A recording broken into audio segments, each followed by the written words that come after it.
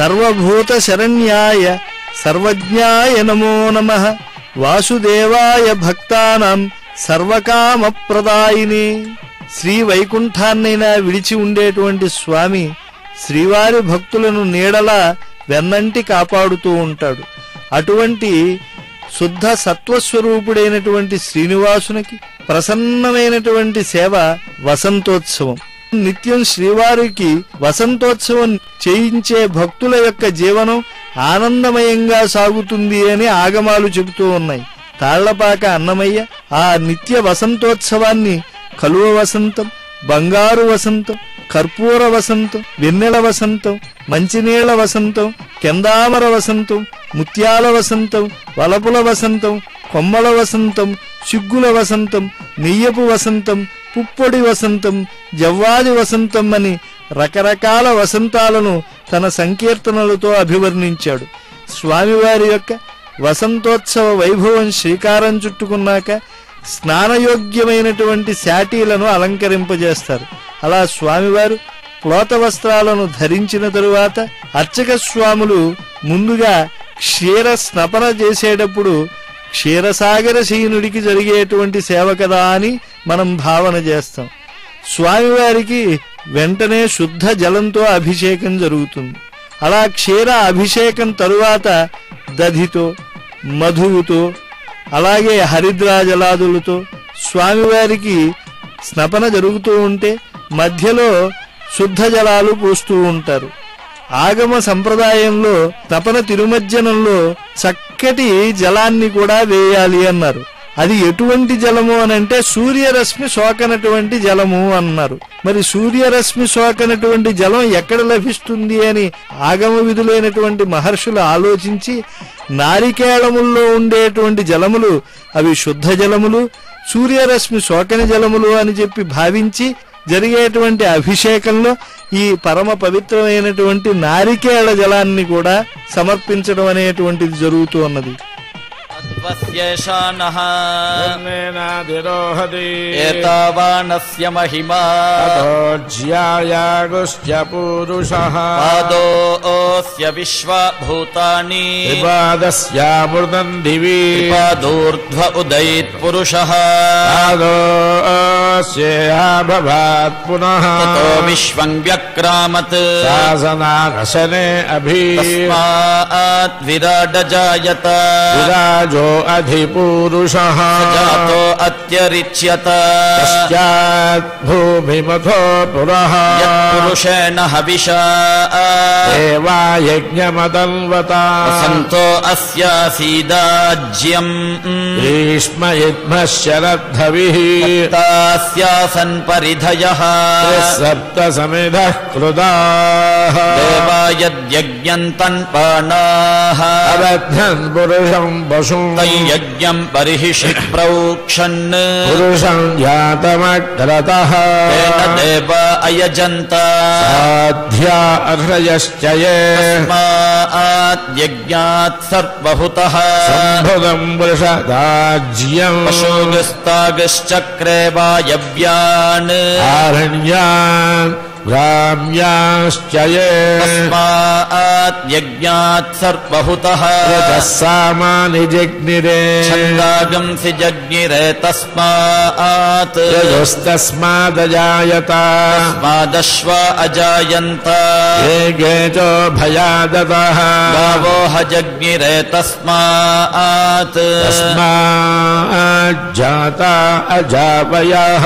पुरुषं यदधुः। प्रतिधाव्य कल्पयम् किमस्य कौ बाहु बालारुच्योऽस्य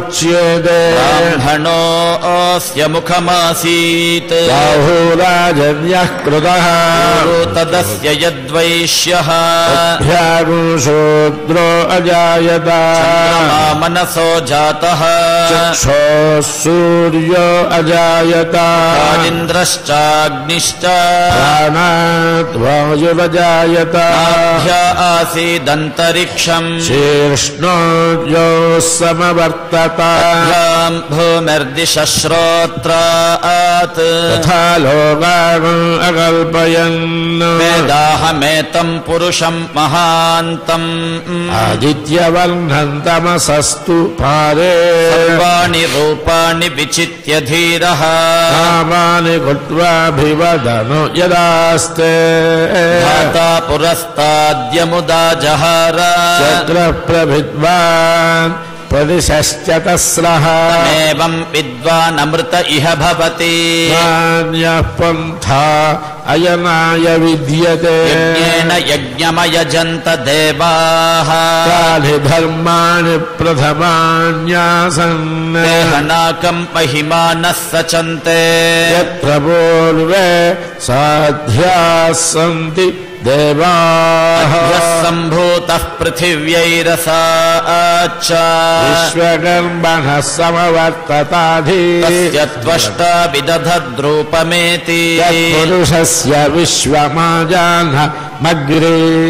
वेदाहमेतम् पुरुषम् महान्तम् आदित्यवर्णम् तमसः परस्तात् तमेवम् विद्वानमृत इह भवति। नान्यः पन्था विद्यते यनाय। प्रजापतिश्चरति गर्भे अन्तः।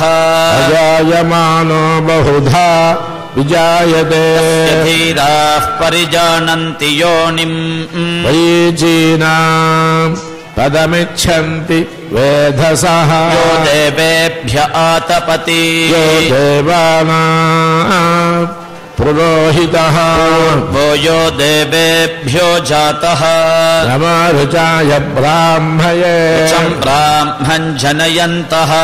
देवा अग्रे तदब्रुवन् यस्त्वैवम् ब्राह्मणो विद्यात्। यस्य देवा प्रीष्यते लक्ष्मीश्च पत्न्यौ। अहोरात्रे पार्श्वे क्षत्राणि रूपम्। अश्विनौ यात्तम् इष्टम् मनिषाणा मनिषाणा सर्वम् मनिषाणा ॐ सहस्रशीर्षम् देवम् विश्वाक्षम् विश्वशम्भुवम् विश्वन्नारायणम् देवमक्षरम् परमम् प्रभुम् विश्वतः परमम् नित्यम् विश्वन्नारायणम् हरिम् विश्वमेवेदम् पुरुषस्तद्विश्वमुपजीवति विश्वस्यात्मेश्वरगु शाश्वतगु शिवमच्युतम् नारायणम् महाज्ञेयम् विश्वात्मानम् परायणम् नारायणपरम् ब्रह्म तत्त्वन्नारायणः परः नारायणपरो ज्योतिरात्मा नारायणः परः।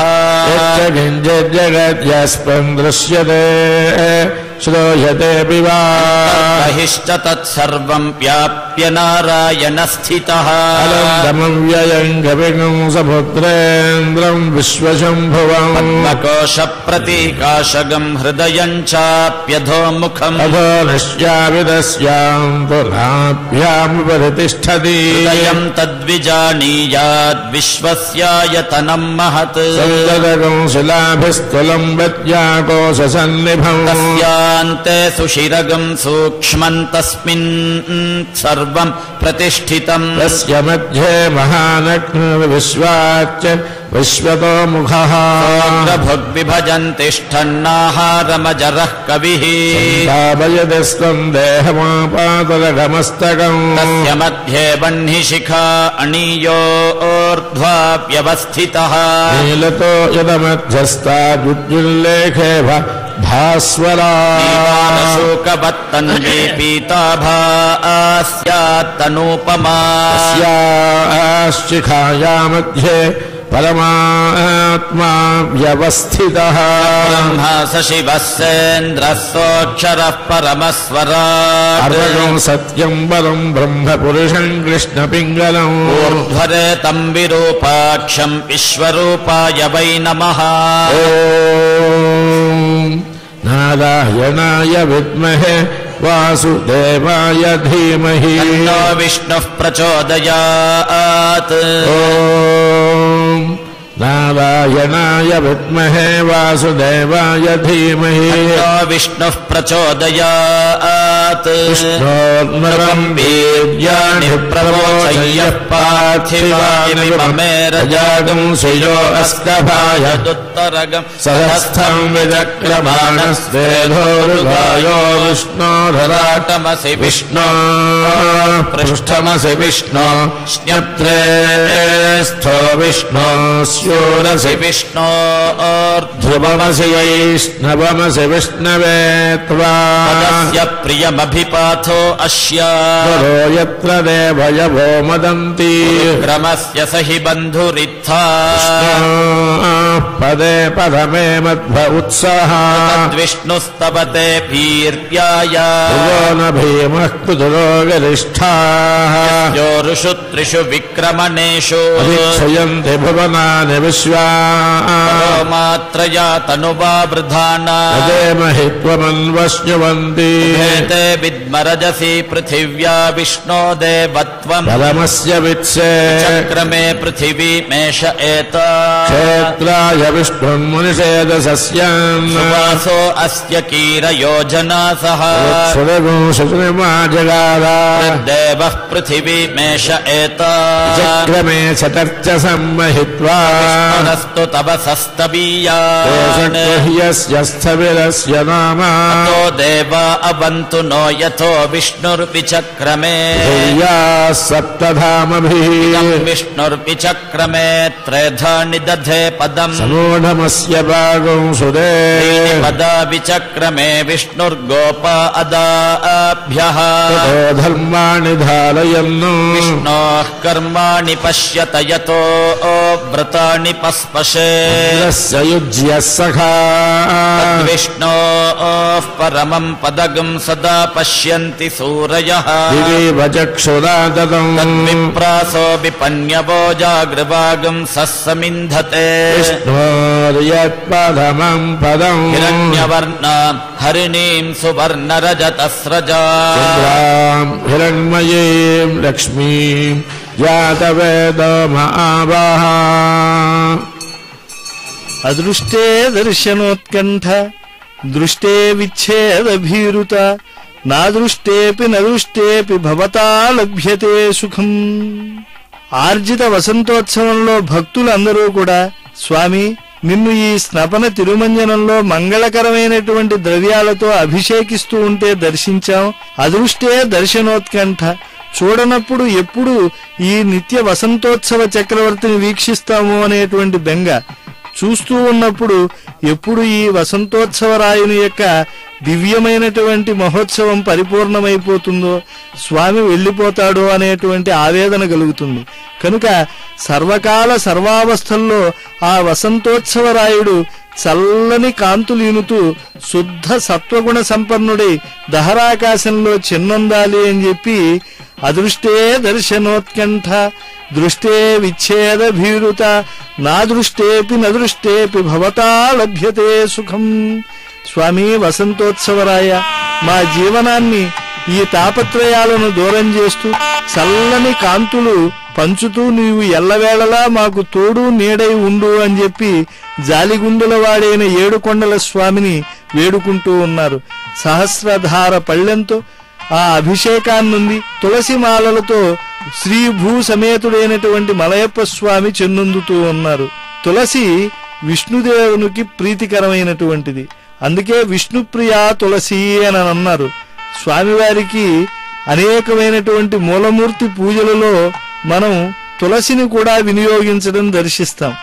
స్వామివారికి ఆ సహస్రనామాదులు పూజ అయిన తరువాత ఆ సమర్పింపబడినటువంటి తులసిని శ్రీ మహావిష్ణువు నెత్తిన ఉంచుతారు. అటువంటి స్వామి సహస్రధార పళ్ళెధారలతో తులసి మాలికలతో అత్యంత ప్రసన్నుడై గోచరమవుతూ ఉన్నాడు.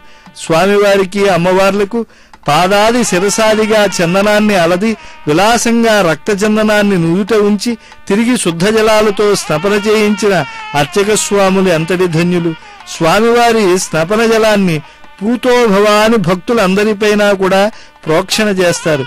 వసంతోత్సవంలో వివిధ హారతుల మధ్య నిత్య వసంత చక్రవర్తి విలక్షణంగా గోచరిస్తూ తన చల్లని చూపులతో చిరుదరహాసాలతో సకల లోకాలను రక్షించే సుందర దివ్యస్వరూపుడు.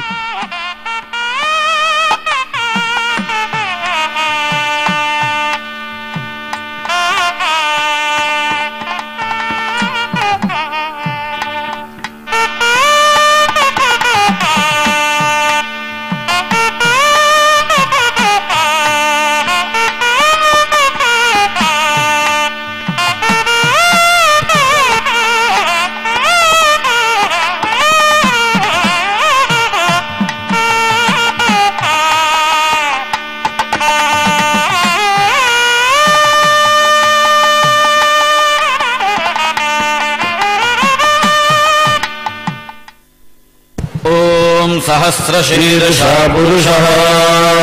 सहस्राक्षः सहस्रपात् स भूमिम् विश्वतो भूत्वा अत्यतिष्ठदशाङ्गुलम् पुरुष एवेरगुं सर्वम् यद्भूतं यच्च भव्यम्। उतामृतत्वस्य तत्त्वशेषानः यदन्नेनाधिरोहति एतावानस्य महिमा अधोज्यायागश्च पूरुषः। पादोऽस्य विश्वाभूतानि। त्रिपादस्यामृतम् दिवि। पादोऽस्येह भवात् पुनः।